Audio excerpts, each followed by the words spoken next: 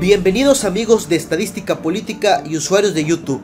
Pues en esta ocasión estaba viendo aquí en la cuenta del Twitter en las encuestas que están, cómo va el monitoreo de las encuestas de las elecciones presidenciales. Miren, por ejemplo, los candidatos presidenciales ven así la última encuesta de Bloomberg. AMLO está al 47%, Anaya al 29%, Meade al 17%, todavía sigue apareciendo Zavala con el 3% y el Bronco al 2.3%. A mí la verdad, el Bronco debería desaparecer ya de esta boleta electoral, se debería de retirar. Imagínense, si todavía Zavala lleva una ventaja sobre el Bronco, la verdad que el Bronco no tiene nada que hacer en esta contienda electoral. Miren, preferencia efectiva, de acuerdo a Ipsos en México, en la más reciente encuesta, AMLO lleva el 50% de las preferencias, Ricardo Anaya el 28%, Meade el 19%, Bronco el 2% y aquí sí ubican ya Margarita Zavala con 1% en el último lugar. La verdad discúlpenme si me escucho un poco este acatarrado porque la verdad tengo tapada la nariz. Ahorita los cambios de clima están fuertes por aquí. Sol en el día, frío en la noche, así que la verdad discúlpenme, ¿no? Pero bueno, aquí estamos siguiéndoles informando. Pero ¿sabían que el día de hoy se realizó el primer simulacro en las universidades? Sí, miren, vamos a poner aquí en el Twitter. Ok, vamos a poner simulacro electoral. Y adivinen quién creen y por cuánto de porcentaje de preferencia tuvo Andrés Manuel López Obrador sobre sus, sobre sus contendientes. No le vamos a decir enemigos porque suena muy feo. Miren, el simulacro electoral, aquí pone la revista Proceso, realizado por universitarios, hablo. Sí, sí, sí, sí, hablo resultó ganador absoluto con el 70% de los sufragios. O sea, con el 70% de los votos. ¿Saben cuánto es de diferencia el 70% de los votos? Miren, aquí dan las cantidades exactas. La verdad creo que se hizo con, miren, de un total de 9.498 votos. AMLO se llevó el 6.671 votos, o sea el 70.2%. Nada que ver con las encuestas. Por ejemplo, la, de Bloomberg. Sabemos que esta, eh, no me acuerdo de qué página es, pero sí, cierto, tienen razón. ¿Cómo es que AMLO puede llevar el 40%? Todavía les puse que AMLO en otra encuesta llevaba el 50%, todavía más creíble. Pero aquí lleva el 70% de los votos. Y esto es algo sorprendente, porque estamos hablando de universidades, estamos hablando de los jóvenes que ahora sí están tomando mucho, mucho hincapié en este tema de la política. Anaya se llevó 1800 votos, o sea el 19%. Mea del 536 votos, o sea el 5.6%. Eso no es nada, ¿eh? Votos nulos es 263 votos. Esos votos nulos son por los que votaron por Margarita Zavala y el Bronco lleva 214 votos. O sea, el 2.3%. Ni sumando, ¿eh? Ni sumando los votos de Anaya, de Mit, los de Zavala y los del Bronco, ni juntando a todos ellos, le llegan a los votos que logró recaudar Andrés Manuel López Obrador, ¿eh? Miren, vamos a ver, aquí tengo una, un tweet eh, que, bueno, retuiteé. Vamos a ver el video de esta dinámica. Cómo es que se hizo, cómo se, cómo se llevó a cabo este simulacro electoral entre las universidades públicas del Valle de México.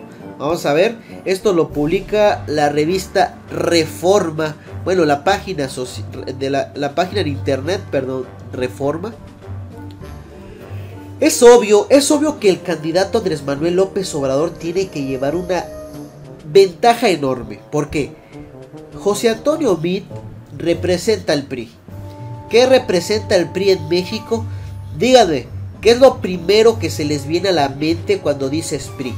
Dices corrupto, dices robo, dices fraude, dices malditos hasta eso, eh, la verdad. Eh, sinvergüenzas, no lo sé, rateros, ratas.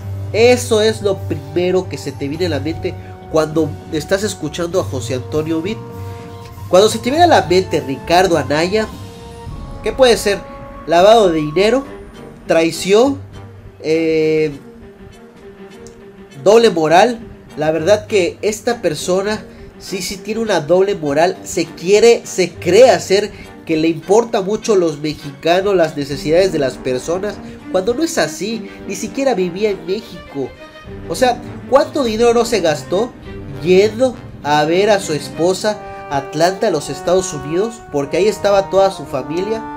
Pero ahorita como son elecciones, ahora sí, papá, vénganse para acá. Se van a meter a universidades en México. Ni modo, mi amor, te vas a tener que aguantar un ratito y vas a tener que estar aquí en México mientras sean las elecciones. ¿no? Pero ahora sí, parece que son una familia muy unida, ¿no? Perdón, disculpen la verdad, estoy muy, muy... Tengo tapada la nariz. Bueno, este es parte del video de cómo se llevó este simulacro en diferentes universidades del Valle de México. Ricardo Anaya.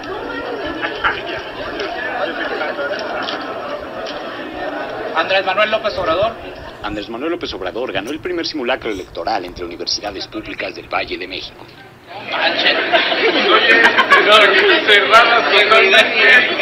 Este 17 de mayo, 21 planteles de la UNAM, la UAM, el POLI y la Universidad de Chapingo realizaron un simulacro electoral interuniversitario. Tenemos una boleta que está hecha de papel periódico, está impresa a mano, la verdad es que quedaron súper bonitas. Fueron hechas, el diseño fue hecha por los mismos compañeros de la organización, la verdad es que quedó súper padre. Las casillas, pues, digo, las urnas, perdón, son de plástico normal y tienen su, cristalito para que se pueda ver que, ni que están y que los estudiantes son los que están depositando las boletas. De Macuspana, por Chicken Little Anaya, por Pepe Mi, por el Mochamanos o nulo, o sea, doña Margarita. Voten, no importa por quién, pero voten. Es importante conocer eh, tus candidatos, obviamente, pero también conocer la decisión, pues, de la comunidad estudiantil, porque al final del día me parece que lo que suceda en estas elecciones, pues, obviamente nos compete a todos, ¿no? Los organizadores informaron que se imprimieron 32 mil. Ahí está, miren, estas, estas son las boletas improvisaron jóvenes en diferentes universidades. La verdad que es sorprendente, ¿eh? es sorprendente cómo es que llevan ellos esta iniciativa, pero ¿para qué lo hacen? Muchos dicen que se quieren robar otra vez la elección y eso no cabe duda, ¿eh? No cabe duda. Ya están invirtiendo muchísimo dinero el PRI y el PAN en las campañas como para que se queden sin nada. Pues como que no, ¿verdad? Entonces, eh, la verdad que estos estudiantes el día de hoy, ahora sí están más al pendientes de la información de la política. La verdad que esto es una transformación total. Estas elecciones van a salir a votar muchísima gente, más de lo que han votado en otras elecciones pasadas. Se dice que esta elección va a ser muy similar a cuando salieron a votar y se ganó la presidencia Vicente Fox, pues va a ser muy similar y Andrés Manuel López Obrador en este simulacro llevó el 70% de los votos. No es porque Andrés Manuel López Obrador nos, abre, hable bonito. O sea, él ha sido congruento durante todo el trayecto de su vida. Sí, unos podrán decir, estuvo en el PRI, pero por eso mismo lo sacaron. Porque tenía estos, no congeniaba con todas las ideas del PRI. Y por eso lo sacan. Él estaba de hecho como presidente del PRI en, una, en un estado y lo sacaron porque por la gente con la que se ponía ahora sí a dar sus pláticas. Tenía ahora sí que su, su lado izquierdista, ¿no? O sea, el lado hacia la gente a favor del pueblo. Obviamente no congenian con las ideas del PRI porque ellos nada más quieren, miren, quieren billete y es por eso que lo hacen un lado. Esto pasa mucho en muchos Eh, esto pasa mucho, valga la redundancia, en muchos círculos, en muchas esferas sociales. Si tú no encajas en el grupo, te hacen a un lado, ¿no? Es como cuando estás en la escuela, están aquí los fresones y tú te acercas y quieres platicar con ellos, porque como eres un, ahora sí que un, un, un guara, un naco, como le quieras decir, te hacen a un lado. Pues es lo mismo.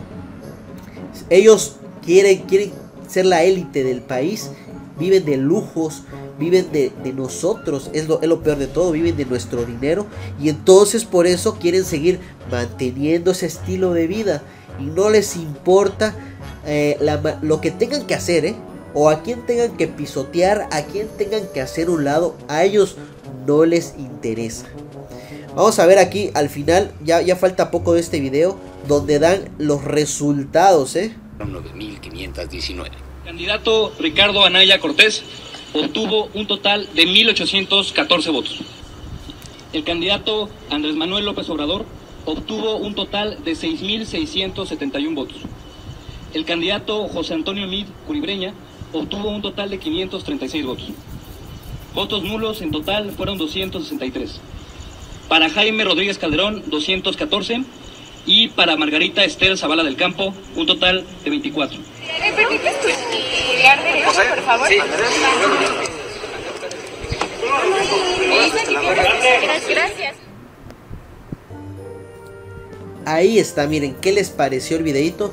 La verdad que si era un simulacro, ¿eh? De hecho, hasta veo que al final marcaban tu dedo pulgar con un plumón permanente para evitar que volvieras a votar. Entonces, Díganme, ¿no les queda más claro?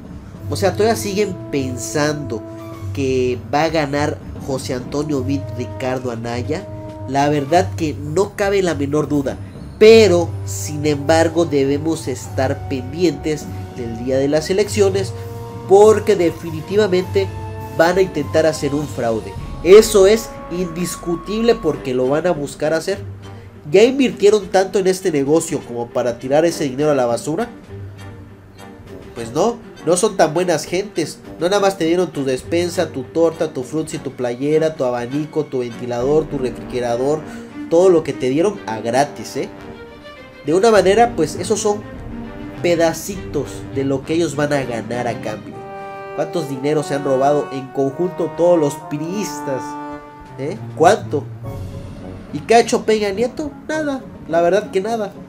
¿Por qué? Porque sigue México igual. Bueno, que no quepa duda, esto fue el 70% de las elecciones en preferencia Andrés Manuel López Obrador. Y pues yo me despido de ustedes. Mi nombre es Jesús Domínguez, alias El Cuñado. Esto fue Estadística Política. Y recuerda que los números son exactos. Y si no, es un fraude. Dale me gusta a este video, compártelo y suscríbete al canal. Nos vemos hasta la próxima.